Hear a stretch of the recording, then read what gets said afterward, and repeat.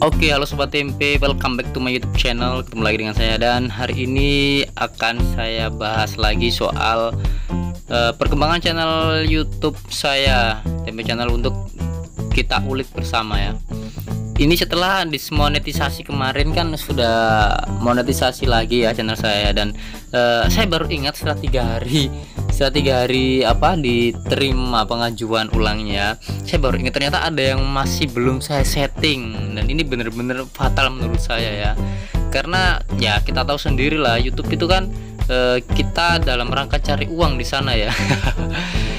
Oke jadi langsung aja. Kemarin ada yang kelupaan belum saya setting. Oke coba langsung aja kita cek apa yang kurang. Oke kita masuk ke YouTube.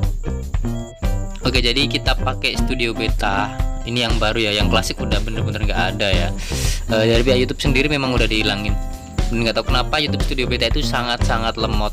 Nah oke okay, akhirnya sinyal saya 4G plus juga. Langsung aja kita lah ke menu utama ke Creator Studio. Oke kira-kira apa yang kemarin belum saya setting? Langsung kita masuk ke daftar video. Oke sebentar masih loading juga. Nah ini sebenarnya dolarnya udah aktif semua memang ya. Terus apa yang salah apa yang kurang? Yang kurang adalah uh, setelan monetisasi di video dengan durasi di atas 10 menit ini belum saya setting banyak iklan. Jadi tentu saja mempengaruhi dolar yang saya dapat tiap bulan ya. Dan ini penting ya saya baru inget loh setiap bulan kok saya biasanya dapat segini kok baru dapat segini ya. Nah itu dia. Meskipun kemarin video sempat saya hapus tapi harusnya ada perkembangan juga ya.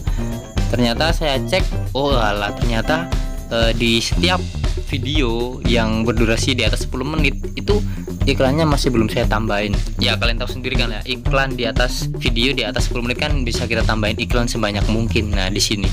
Nah ternyata banyak yang melupakan soal ini ya uh, setelah disetujui monetisasi setelah diaktifin semua kemudian udah ditinggal. Mereka lupa bahwa uh, ada settingan yang penting lagi untuk memperkaya diri yaitu menyeting iklan atau menambahkan iklan di video dengan durasi di atas 10 menit. Ya dan ini kemarin saya lupa ya. Oke sekarang tinggal saya aktifkan kembali. Ini kita cek durasinya 726 jadi pokoknya kita cari video di atas 10 menit. Nah ini ya kita contohkan.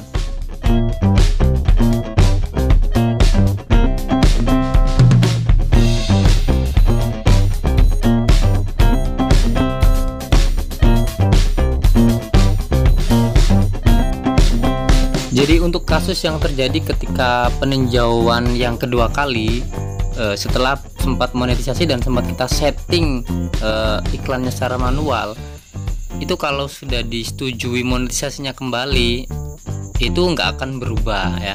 Tapi kalau udah ACC yang kedua kalinya yang perlu disetting adalah yang setelah kena dismonetisasi ya. Jadi kalau misalkan eh, yang kemarin-kemarin sebelum dismon udah settingannya udah kalian atur. Terus setelah disetujui itu nggak akan berubah akan sama settingannya ya. Jadi saya nggak perlu menyeting lagi semua video saya yang berdurasi di atas 10 menit karena sebelumnya sudah pernah saya setting secara manual ya sebelum dismon ya. Jadi setelah uh, setelah monetisasi lagi saya tinggal menyeting ulang yang terkena dampak apa yang termasuk uh, konten baru yang termasuk video baru setelah dismonetisasi kayak contohnya yang tadi ya.